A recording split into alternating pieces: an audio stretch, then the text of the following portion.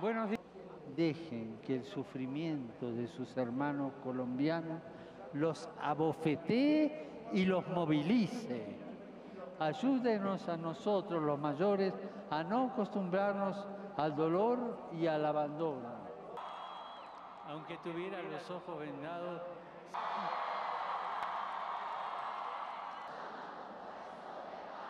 y este es el principio.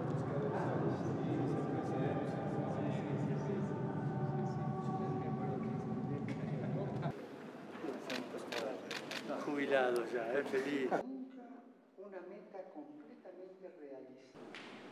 Los invito a no tener miedo de tocar la carne herida de la propia historia y de la historia de su rey.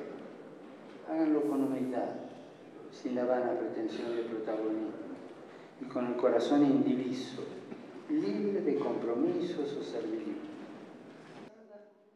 Y un destino totalmente acabado. Todos sabemos que la paz exige de los hombres un coraje moral diverso. La guerra sigue lo que hay de más bajo en nuestro corazón. La paz nos impulsa a ser más grandes que nosotros mismos.